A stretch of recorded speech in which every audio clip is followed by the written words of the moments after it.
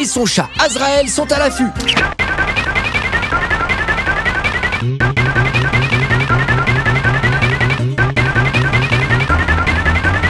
Et Gargamel et son chat Azraël sont à l'affût.